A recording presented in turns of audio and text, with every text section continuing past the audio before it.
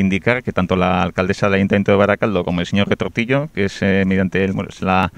la, alianza política que existe ahora mismo en, el, en el, Ayuntamiento de Baracaldo,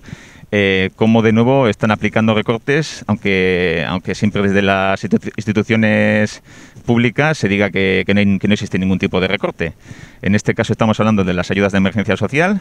que son las que, bueno, son las ayudas que mayoritariamente se utilizan para hacer frente al pago de hipotecas y alquileres. De ahí la, de ahí la, el adjetivo de emergente, o sea, de emergencia, y que son, son partidas económicas que tienen que llegar lo antes posible a, las familias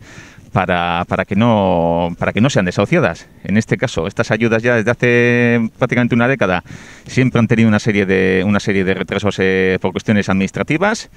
eh, por, cuestión de, por falta de manos para, para tramitarlas. Eh, para hacer las, las gestiones consecuentes y esto se ha ido alargando y en los últimos años pues resulta que, que para para que había que esperar medio año, incluso a veces más, para que a las familias les llegase les llegasen esto, este dinero para poder hacer frente a ese pago de alquileres. Bueno, pues lo que pasa es que este, el presente año todavía están gestionando las, las que se debieron de pedir el, el año pasado y que el ayuntamiento ha decidido que este año por ahora no se abre ningún plazo de, petición de, estas ayudas de emergencia social. Por lo tanto, entendemos que si bien eh, año pasado pues tenían que esperar 6-7 meses para, para que les llegase el dinero, este presente año con este, con este retraso, pues eh, nos tememos que, que ese plazo se pueda alargar a un año. Evidentemente, ningún casero y ninguna institución bancaria va, a ofrecerles tanto tiempo a las familias que deben pagar alquileres y hipotecas